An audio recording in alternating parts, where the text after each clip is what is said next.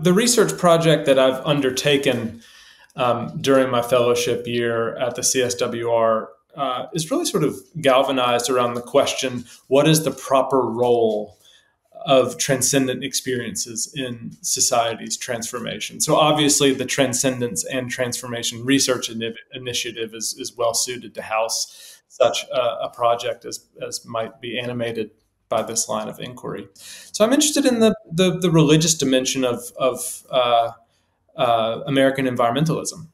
Now, it's of course uh, a uniqueness of, of American life that religious experiences play such, uh, we'll say, an outsized role um, in the body politic and the changes it undergoes. You know, American political movements um, are especially susceptible to religion's influence, the civil rights movement perhaps being the readiest example. Um, today, though, um, no political movement harnesses the power of religious experience more and more often, I think, um, than the American environmental movement.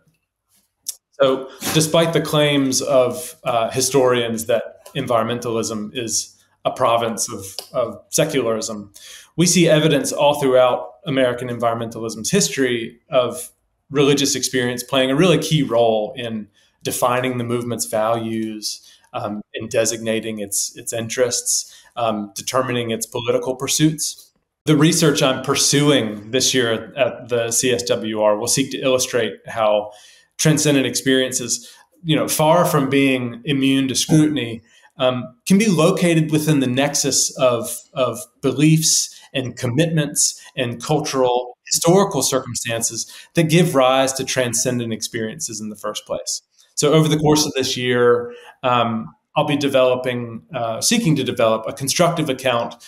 um, that will help to demonstrate how the private contents revealed through transcendent experience can't be separated from the public search for justification. Um,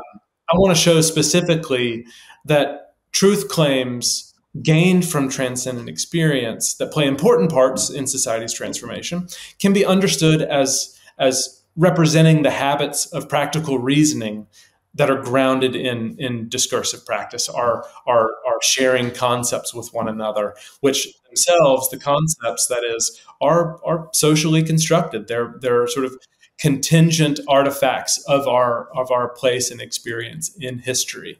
Um, my goal is to put forward a, a practical method for testing the truth claims of transcendent experience. And thus a means through which we might reasonably hold the insights engendered by those experiences accountable in the public sphere.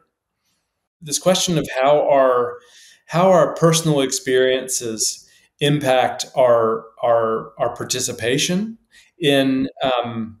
uh, you know the exchange of reasons and our participation uh, in um, values talk, um, our, our, consideration of alternative viewpoints, um,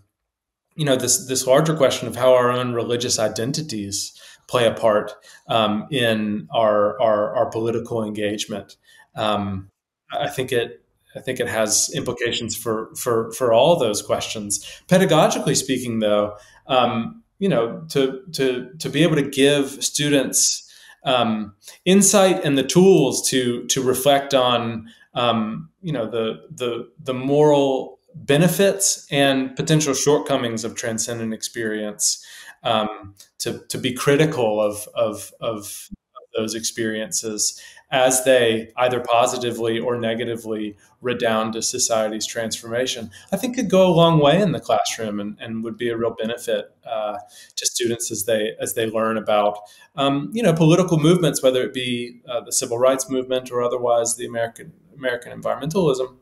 I think the CSWR um, is, a, is a really ideal place to, to take up this work, and in large part because uh, of the community of conversation that the center is, is already established going back decades, right? So I like to see my work as, as continuing in this strain, um, seeking to give the field of religion and ecology sort of further definition through the questions that I'm asking and the methods I'm, I'm seeking to, to both uh, devise and and deploy. Um, of course, my my questions are possible because of the outsized role the CSWR has already had in launching and, and giving shape to the conversations in which uh, I'll be participating over the next year.